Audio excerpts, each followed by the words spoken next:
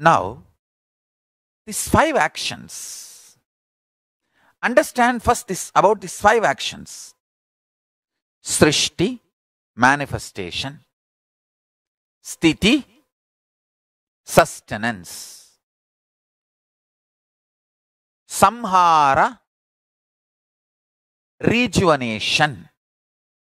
Trobhava, getting out of delusion, pulling out of delusion.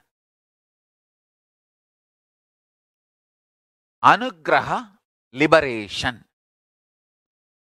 In Kailasa, Paramashiva Jnana, the knowledge of Paramashiva exists as pure frequency, Nada and Bindu means sound and visualization.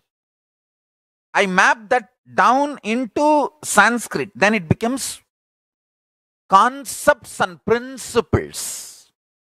I map that down to English, then it becomes long sentences.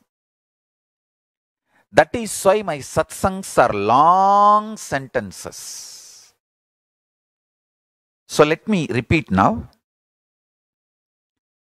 Manifestation, sustenance, rejuvenation, pulling out of delusion, enlightenment, liberation. These five. Paramashiva does these five as Sadashiva with five face. Sadyojata face of Paramashiva does creation, manifestation. It is the face facing western direction.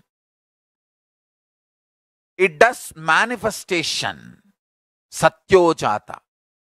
Then Vamadeva does sustenance. Agora does rejuvenation.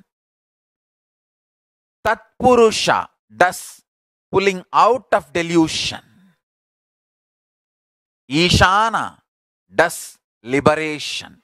The Ishana face is looking upper direction.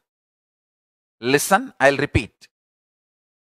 Sadyojata does manifestation, it is facing western direction. Vamadeva does sustenance, faces north direction. Aghora does rejuvenation, faces south direction. Tatpurusha does pulling out of delusion, faces east direction. Ishana faces upper direction and that does the job of liberation.